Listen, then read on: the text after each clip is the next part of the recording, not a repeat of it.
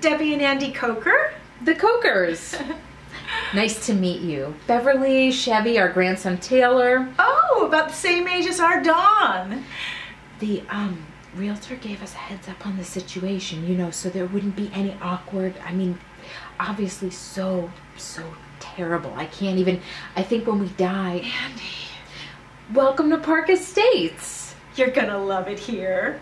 We already do. Seems like heaven. And that's where she is now.